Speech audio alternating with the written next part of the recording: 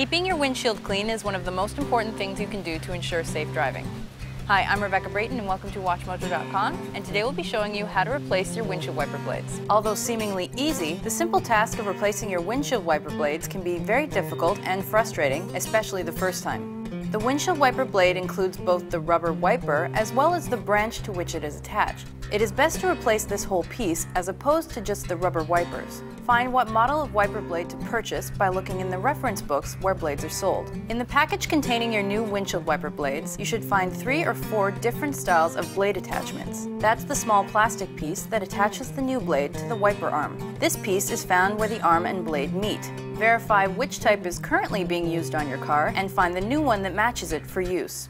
Pull the wiper and arm away from the car so that it is sticking out perpendicular to the windshield. Be careful not to let the wiper arm snap back to the windshield while it has no blade attached. This could crack the windshield. Now, to remove the wiper from the arm. There are various different styles of wiper blades. For example, where the blade and arm meet, there might be a small tab you can depress with a screwdriver to ease removal of the wiper. Remove this attachment from the blade and attach the new one. Mount the blade onto the windshield wiper arm and put the arm back into place.